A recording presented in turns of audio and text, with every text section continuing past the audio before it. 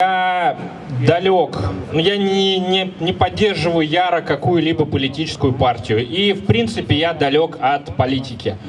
Но я не смог остаться сидеть дома сегодня и пришел сюда, потому что я против повышения пенсионного возраста. И я хочу сказать две вещи. Первое. Никогда не молчите, если вас что-то возмущает. Потому что если молчать, то ничего хорошего из этого не выйдет.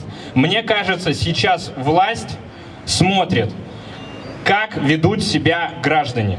И если граждане будут вести себя пассивно, сидеть дома и ничего не делать, то, извините, с такими людьми можно делать почти все, что хочешь. И если ничего не говорить, то ну, скоро начнут ноги вытирать.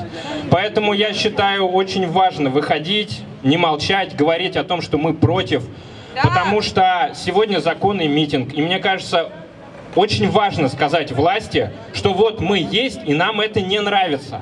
Что не надо так делать. И знаете что, если я против всяких радикальных политических лозунгов, там, на вилы, долой и прочее.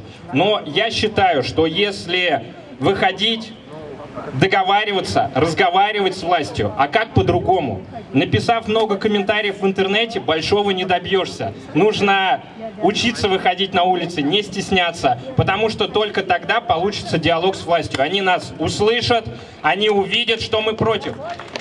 И если нас будет много, и мы будем активны, власть просто придется с нами договариваться, просто придется идти на уступки.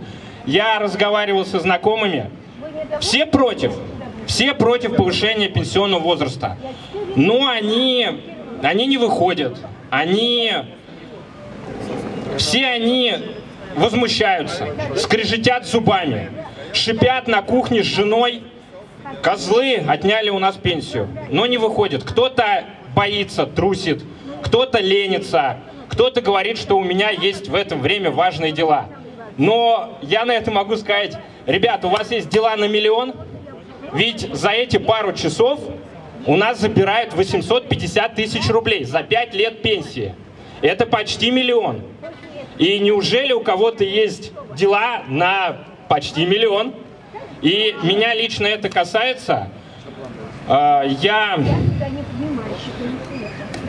Говорят, критикуешь, предлагай. И я вот немножко вникал в ситуацию, пытался понять, и у меня есть